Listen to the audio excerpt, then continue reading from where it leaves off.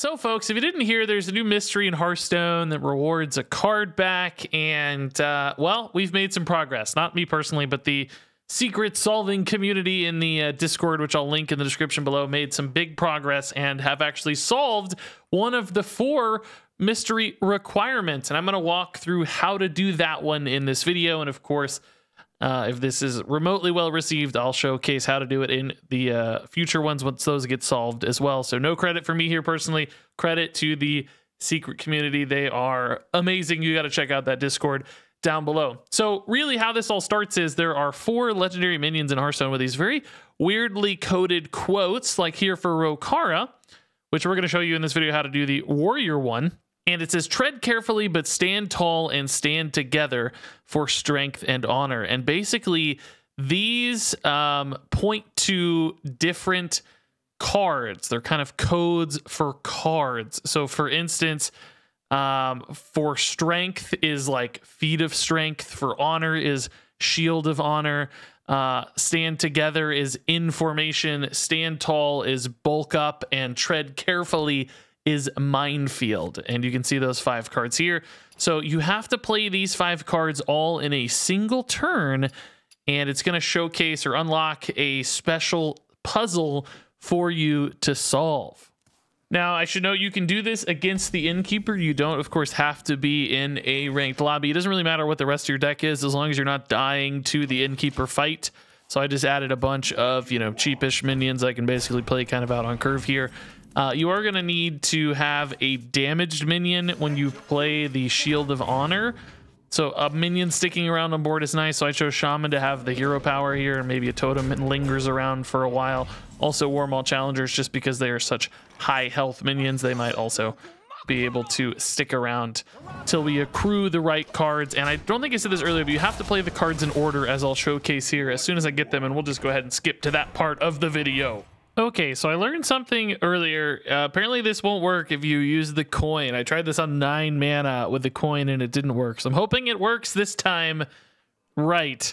So you play the cards in order Minefield, bulk up, information, Feat of Strength, and shield of honor. In that order, then you hit in turn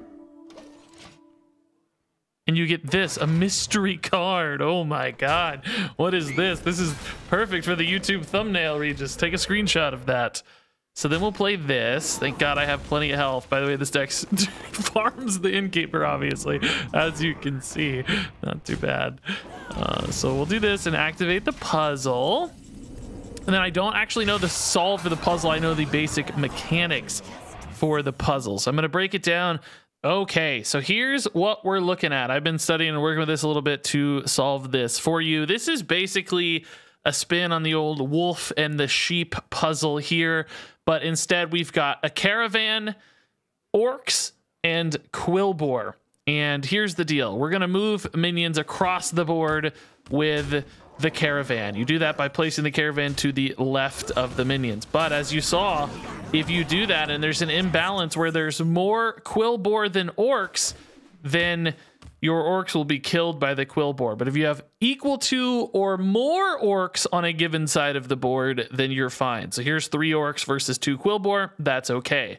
But if I bring this quillboar back and take an orc over, just like we did last time, you've got three quillboar to two orcs. They're going to kill the orcs. So you have to make sure these sides are balanced, basically, between Quillboar and orcs. A couple other tips. If you try to send a caravan across alone, a Kolkar Centaur will spawn and kill it. So that sucks. Also, if you try to send more than three minions, a bunch of Centaur will spawn and kill them all. I guess the caravan is just too tempting for the Centaurs. You have to take two or fewer minions, you have to maintain a balance, and you always have to take an escort with you. So here's how this works. You need to move all of your Quillboar over first.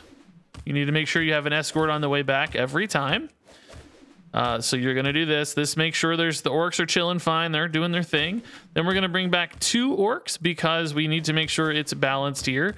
And then we need to bring back two more Quillboar. Basically here we're going to be alternating between Quillboar and orcs uh, to get the orcs all over to this side uh, one at a time. So now see, this is balanced and that is balanced. Uh, now we need to shuffle over a second orc. Once we do that, now we need to shuffle over two orcs, excuse me. Once we do that, this side is now good on orcs. We can bring back a Quillboar escort, so our orcs are chill. Then we can take two Quillboar, no problem. Then we bring one Quillboar back.